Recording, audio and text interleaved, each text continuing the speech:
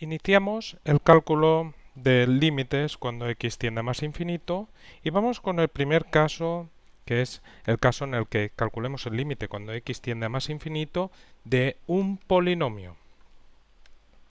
Este es el caso más sencillo y en primer lugar dentro de este caso su caso todavía más sencillo que es que cuando calculamos el límite cuando x tiende a más infinito de una constante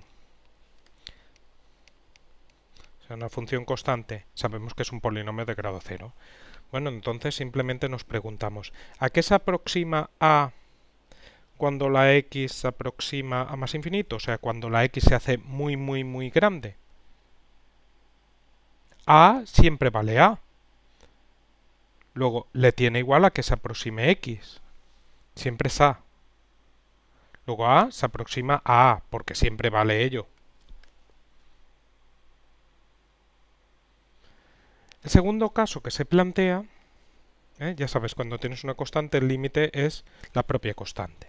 Segundo caso es cuando ya tenemos un polinomio de grado mayor que cero, o sea, no tenemos un polinomio constante. Límite cuando x tiende a más infinito de un polinomio, vamos a poner a n x elevado a n, más a n menos 1 x elevado a n menos 1 más a sub 1 x más a sub 0 donde a sub n es distinto a 0 o sea que estamos suponiendo que tenemos un polinomio de grado n con n mayor que 0 o sea que no es un polinomio constante. Bueno. Pues aquí lo que manda siempre es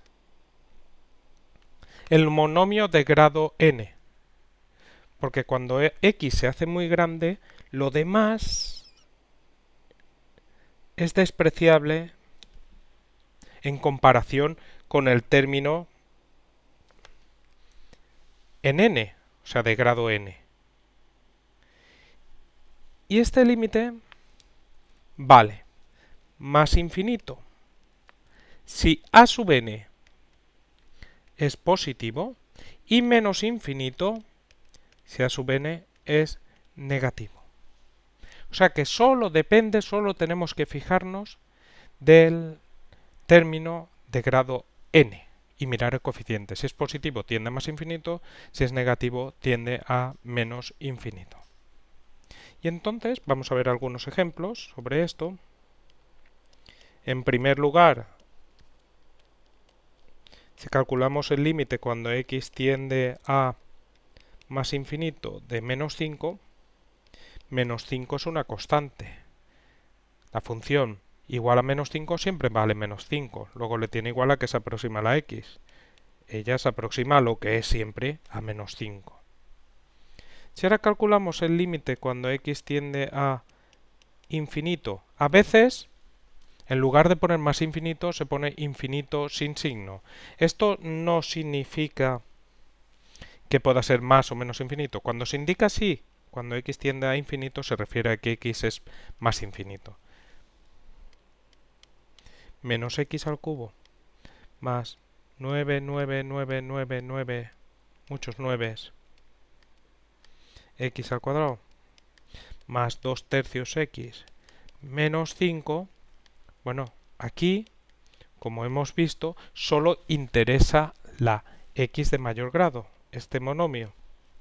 El coeficiente es menos 1. Aquí te tiene igual que esto sea muy grande o lo que sea. Solo nos fijamos en el término de grado 3. Como el coeficiente es menos 1, esto tiende a menos infinito.